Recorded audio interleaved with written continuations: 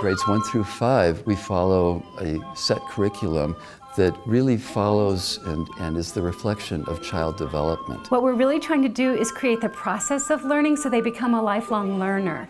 And as you watch them grow up through the curriculum, as you watch them hit those early grades, um, you see this feeling life come more and more into play. And if you educate towards that feeling life, you get them involved on an emotional level. So one aspect of Waldorf education that's a little unusual is, is having the same class teacher from first through eighth grade.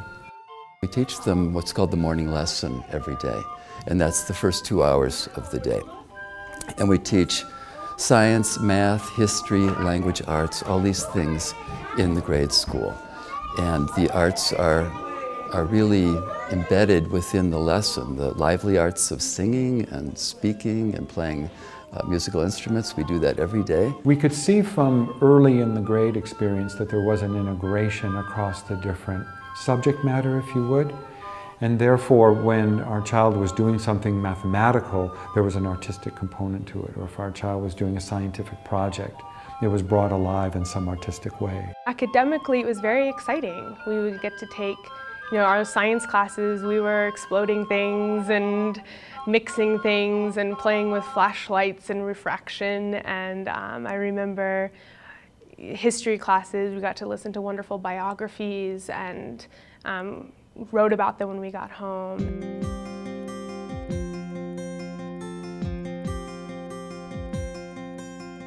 When we teach ancient history in fifth grade, we do it so that they become Greeks. They become Persians. They actually really get to experience. They eat Greek food, they dress like Greeks, they, they draw Greek pictures, they study Greek art, they study the Greek alphabet. They actually, for four weeks, become Greek citizens. And they get to feel what it means to be Greek. It's not abstract, it's real for them, and it's through their feelings. And then drama comes into play in the grades. And every class, every year, puts on some kind of production. And so at the same time, your child is learning the basics, you know, reading, writing, arithmetic. Your child's learning through these other medium, uh, media, how to express themselves and learning things about the world by experiencing more than just sort of head learning. First through fifth grade, the Spanish curriculum is giving them vocabulary. Vocabulary through movement, using their bodies to talk about body parts, finding colors in their environment to learn colors. Movement is used in the early grades to teach mathematics. They assemble in the room in what's called morning circle. And there we learn to count rhythmically so that by the end of third grade, they know their 12 number tables through motion and movement. And in fourth grade, they would bring it into more of a pictorial understanding of the number of facts.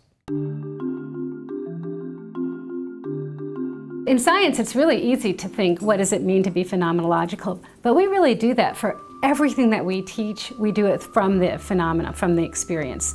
So math is either done in their body through clapping and stomping exercises that they do, or it's done with manipulatives. So they actually see that they have seven pebbles, and then those seven pebbles are broken into a group of four and three. They see the phenomenon of those groups, and that's how they learn the math.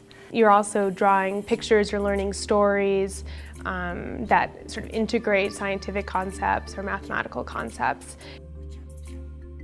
We teach form drawing in the Waldorf curriculum beginning in the first grade. And what it represents is movement come to rest. And so when they draw a spiral, for example, we have them first run a spiral, and then we come to the classroom, we move it with our arms, we draw it with our feet, we draw it on our neighbor's back, and then finally we bring a crayon to paper and we draw a large spiral which has many forms within science. This form drawing then goes translates into more constructed Euclidean geometry in grade six, where we actually construct using the spiral the a shell showing the spiral of Archimedes there based on the arithmetic progression. My encouragement for other parents to send their children to a Waldorf school is simply that the children are so happy. Uh, they love coming to school. My daughter, when she was in first grade, would be sad when it was Saturday.